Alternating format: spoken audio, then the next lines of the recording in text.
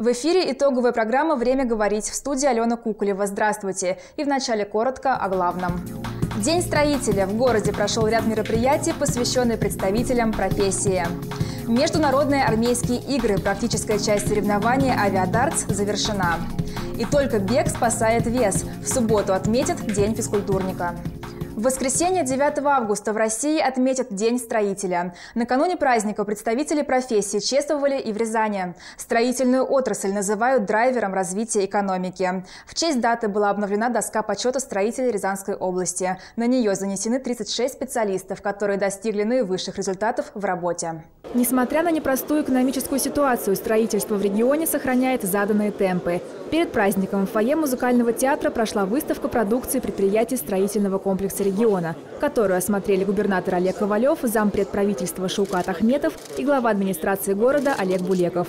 На выставке были представлены крупные отраслевые проекты, которые реализуются в области. Среди них строительство объектов социальной инфраструктуры, малоэтажного жилья и квартир эконом-класса. Я э, подробно так обсуждал с каждым застройщиком, с каждой строительной компанией, как у них дела, потому что, э, э, будем говорить так, строительный комплекс – это катализатор.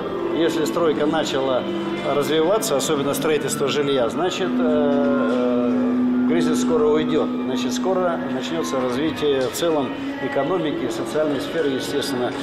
Значит, и я очень доволен тем, что начали расти продажи жилья, что люди начали, опять же, поуверенней пользоваться ипотекой, при поддержке государства особенно. Если в начале года я просил застройщиков не начинать задельные объекты, сосредоточиться только на вводных, то сейчас уже и застройщики, и я, мы видим, что можно начинать новые задельные объекты с тем, чтобы в 2016 году не оказаться без ввода, чтобы в 2016 году было что вводить, что сдавать, что предложить людям, чтобы на рынке жилья цена резко не выросла. Кроме этого, были представлены предприятия, производящие стройматериалы, а также учебные заведения, готовящие специалистов для строительной отрасли. Занесением на доску почета были отмечены заслуги заместителя генерального директора по экономике и финансам ООО «ЖБИ-5» Михаила Габкина. Действительно, наше предприятие выпускает весь спектр бетонных изделий э, для гражданского и промышленного производства. А, несмотря на те условия, которые сегодня сложились в ситуации в целом стране, в Рязанской области активно развивается социальная инфраструктура, а также строится комфортное, доступное жилье. Также в городе готовится к открытию центра большого тенниса. Генеральный директор строительной компании, которая занимается возведением центра, отметил, что в регионе созданы благоприятные условия для развития отрасли. Несмотря на сложное все-таки экономическое состояние российской экономики, э, в нашей области действительно созданы нормальные условия для работы в строительной области. В прошлом году было возведено 20 социальных объектов. Также строительная индустрия в Рязанской области уверенно наращивает производственные мощности в планах открытия крупных промышленных объектов. В последние годы строительство на территории России достигло невиданных ранее темпов своего развития. В 2014 был введен в строй 81 миллион квадратных метров жилья и тем самым побит рекорд 1987 года, когда построили 73 миллиона квадратных метров. За ударный труд на этой неделе награждали представители самой мирной и созидательной профессии. В преддверии Дня строителя городские и региональные руководители награждали передовиков этой непростой и ответственной профессии. В правительстве Рязанской области отличившимся коллективам и сотрудникам ведущих строительных предприятий вручили благодарственные дипломы и нагрудные знаки. Ведь именно на этой отрасли во многом держится экономика нашего региона и нашей страны. Мы уже подводили с вами итоги 2014 года, промежуточные итоги 2015 года, и цифры говорят о том, что строительная отрасль неуклонно идет вверх в части жилищного строительства. В городской администрации также прошла церемония награждения самых успешных строительных фирм и компаний, основная цель которых сегодня – улучшение качества жизни рязанцев. Ведь их работа заключается не только в строительстве жилых домов, но и дорог и объектов социального назначения. Хотелось бы в этот день сказать, безусловно, вам спасибо. Спасибо за ваш труд. Спасибо за то, что вы участвуете в наших социальных проектах. Спасибо за то, что вы участвуете во всех программах. Это программа и переселения из ветхого это программы капитального ремонта. Вся страна чтит сотрудников строительной отрасли, и мы присоединяемся ко всем поздравлениям, которые прозвучат в адрес тех, кто возводит города. Также в Рязани назвали лучшие многоквартирные дома прошлого года постройки. Победителей определяли по итогам восьмого некоммерческого конкурса «Доминант». Что примечательно, четыре рязанские строительные компании вошли в топ-200 лучших в стране. В преддверии профессионального праздника Дня строителя 5 августа в Малом зале городской администрации состоялась торжественная церемония награждения победителей и призеров конкурса строительных компаний Рязани «Доминант-2015». Всех собравшихся поздравил глава администрации Олег Булеков. В рамках рамках восьмого некоммерческого конкурса участниками стали 17 компаний. Три призовых места и гран-при получили ведущие строительные гиганты города. Вообще-то самый, самый высокий дом построил в городе, а третье место. Организатор конкурса, эксперт в области строительства Денис Абраков отметил значимость некоммерческого статуса конкурса. По его словам, выбор победителей происходит на основании честного отбора. Всего в конкурсе 21 критерий. Мы оценивали и, и, как я уже сказал, и уровень благоустройства, и внутреннюю отделку, и планировку, и э, применение инновационных энергосберегающих технологий. Э, здесь целая гамма критериев, потому что хочется, чтобы оценка дома была э, максимально объективной. Это одна из важных целей конкурса. Дать рязанцам достойный ориентир для приобретения квартир э, в уже построенных домах. Основная цель конкурса – предоставить рязанцам достоверную информацию о строительных компаниях, которые качественно возводят жилье, создают для своих клиентов оптимальные условия приобретения квартир и после сдачи у жильцов не будет проблем, связанных с эксплуатацией. К новостям экономики. Еще в прошлом году министр строительства и ЖКХ России заявил о возможных изменениях схемы долевого строительства, вплоть до ее полной отмены. По планам она должна стать более цивилизованной, чтобы у владельцев строящегося жилья не возникало никаких юридических проблем. Заместитель председателя правительства Шукат Ахметов заверил, что на сегодняшний день в области нет многоквартирных домов, которые имеют угрозу невозможности ввода в эксплуатацию. Ни одного обманутого дольщика не будет. Об этом заявил Шаукат Ахметов на встрече с журналистами. Основной тенденцией на рынке жилья в кризисное время является увеличение объемов строительства при падении объемов сделок. Тем не менее, все строящиеся в Рязанской области жилые дома будут введены в эксплуатацию. Сейчас в области работы по возведению более чем 120 домов ведут свыше 80 застройщиков. Всего к концу года планируется сдать не менее 600 тысяч квадратных метров жилья. Все находящиеся на стадии строительства дома на контроле специально созданной рабочей группы. От каждого застройщика а, мы получили заверение, что все начатые объекты будут завершены в э, соответствии со сроками, указанными в договорах долевого участия. То есть все дома, по которым существуют э, заключенные договора сделки э, с дольщиками, все обеспечены в установленном порядке проектной смен документации, установленным э, разрешительной документации, обеспечены финансированием для того, чтобы убедиться в этом, мы провели ряд встреч с финансирующими органами, со всеми руководителями крупных банков, которые участвуют, участвуют в финансировании жилищного строительства, и получили от них заверение о том, что необходимое количество денежных средств и в бюджетах этих кредитных учреждений тоже существует. Также заместитель председателя правительства отметил, что граждане и сами должны внимательнее относиться к тому проекту, куда вкладывают свои средства. Обязательно нужно внимательно посмотреть все проектные декларации, которые опубликованы в сети интернет у каждой компании застройщика. Всю-всю информацию надо внимательно изучить. И мы рекомендуем все-таки использовать э, возможности юридических служб – агентств недвижимости для получения соответствующих консультаций, оказания помощи э, в заключении юридически чистых сделок э, участия в долевом строительстве первый день борьбы с санкционными продуктами в Рязани уничтожено 65 килограммов яблок. Запрещенная к реализации продукции в пределах России была обнаружена на рынке пятой базы, сообщается на сайте Россельхознадзора. В Рязань такой товар попал из Москвы. Накануне петиция против уничтожения санкционных продуктов собрала около 200 тысяч подписей. Продолжение продуктовой темы. За прошедшую неделю в регионе отмечено снижение цен на 8 из 23 социально значимых продовольственных товаров – картофель, лук, морковь и капусту, рыбу, муку, куры и яблоки. Отмечено повышение цен на сахар, соль, молоко, масло, пшено и гречку. В результате общая стоимость набора составила 2196 рублей 22 копейки. Такие данные приводит сайт правительства области. Более 30 регионов страны уже приняли закон о нулевой налоговой ставке для предпринимателей. В Рязанской области он пока в разработке. Налоговые каникулы коснутся в первую очередь тех, чей бизнес связан с производственной, социальной или научной сферами. Всего в перечне более 20 видов деятельности, по которым планируется установить нулевую налоговую ставку. Также накануне президент Российской Федерации подписал закон на три года запрещающий плановые проверки малого бизнеса. В целом это очень важные законы для бизнес-среды. И эти две составляющие являются важными составляющими для формирования бизнес-среды молодежи.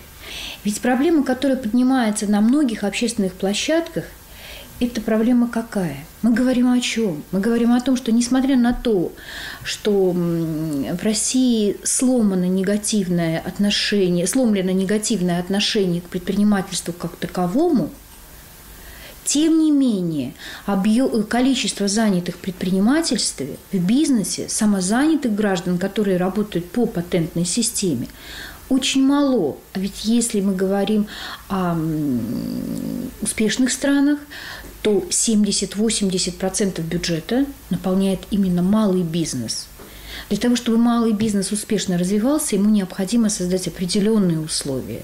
К другим темам. Летчики, участвующие в международных соревнованиях «Авиадарс-2015», завершили практическую часть конкурса. Полеты проходили на полигоне Дубровичи под Рязанью в течение двух дней. За это время участники из России, Китая, Казахстана и Беларуси использовали более 100 авиабомб, 350 неуправляемых ракет и более 7 сотен снарядов для авиапушек. Среди заданий конкурса было обнаружение замаскированных объектов условного противника, фигуры сложного пилотажа в воздухе и другие. Итоги конкурса подведут в субботу, 8 августа на аэродроме Дягилева. Праздник с привкусом горечи. 5 августа на полигоне Дубровича стартовал международный конкурс летного мастерства «Авиадартс-2015». Открыл соревнования министр обороны Российской Федерации Сергей Шойгу. Само собой, в приветственной речи министр упомянул о недавней трагедии. Погибшему летчику Игорю Бутенко на территории полигона уже установлен мемориал. В целях увековечения памяти летчиков армейской авиации, погибших при исполнении воинского долга, учреждается кубок имени полковника Игоря Бутенко. Им будут награждаться экипажи, добившиеся наилучших показателей в боевой подготовке. Первый кубок по итогам конкурса «Авиадарс» будет вручен лучшему экипажу армейской авиации на церемонии закрытия игр 15 августа. Участие в масштабном турнире, являющемся частью международных армейских игр, принимают более 50 экипажей из России, Китая, Республик Беларусь и Казахстана. В небо над Рязанью поднялись более 100 летчиков, 15 типов самолетов и вертолетов. В ходе воздушного этапа пилотам предстояло показать экспертам свое мастерство владения машиной. Главная цель – это совершенствование боевой вывочки и проверка той техники, которая есть сейчас э, в армии, ее возможности, ее способности. Вы прекрасно знаете, что летчики, эти, которые сегодня принимают участие, они не просто так сели и полетели. Они прошли длительный путь, отбор э, в части, отбор в армии, отбор в ВВС и вышли на международный этап соревнований.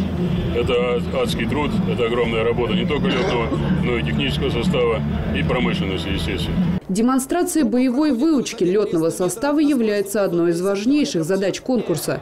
Уже первый этап соревнований показал уровень мастерства пилотов-участников. Бомбометание – зрелище, захватывающее дух. У этих людей нет права на ошибку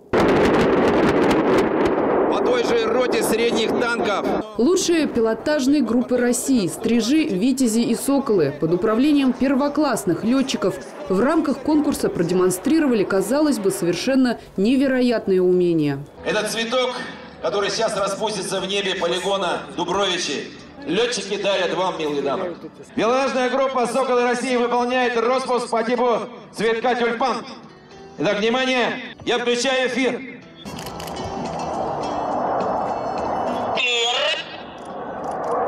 И ваши аплодисменты!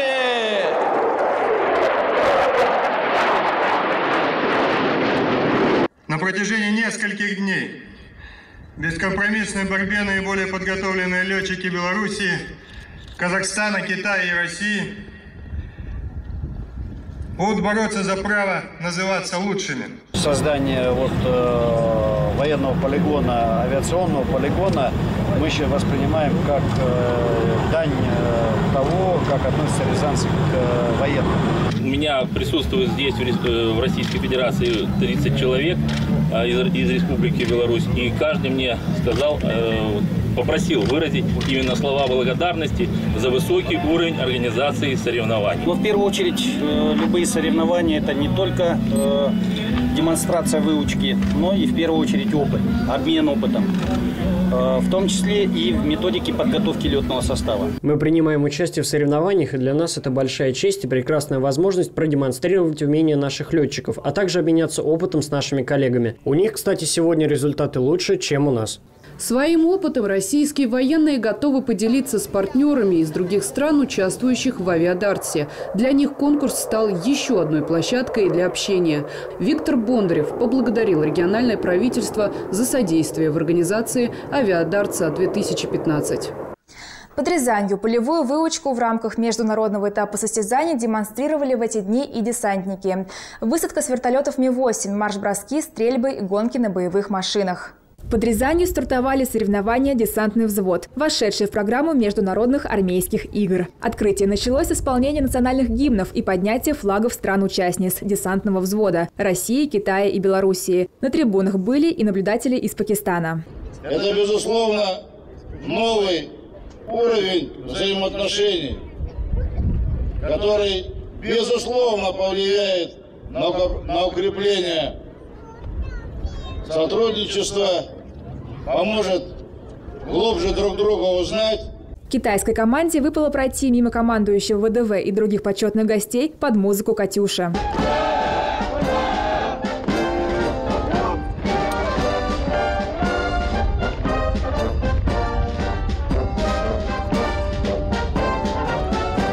Десантники жонглировали карабинами, показывали комплекс рукопашного боя с холодным оружием и без него. После этого в небо над полигоном поднялись вертолеты Ми-8, откуда десантировались несколько групп парашютистов. Трое из них летели с флагами России, Белоруссии и Китая. Также спецназовцы спускались по специальным тросам. Этот прием направлен на уничтожение противника в наземном бою. Одним из самых зрелищных этапов показательной программы стал вальс – фигурное вождение бронетанковой техники. Шесть машин исполнили танец на небольшой площадке, почти соприкасаясь бортами и показывая тем самым мастерство механиков-водителей.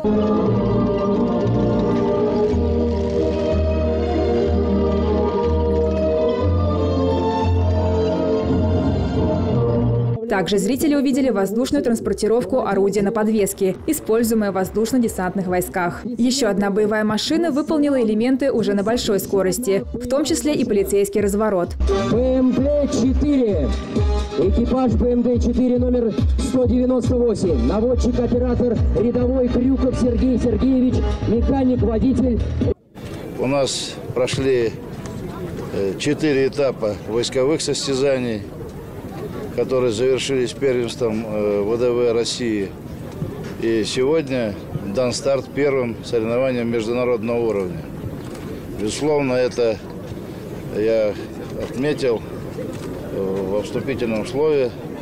Это способ э, проверить свои силы, посмотреть, как сегодня решают подобные задачи наши коллеги из Белоруссии, из Китайской народной армии.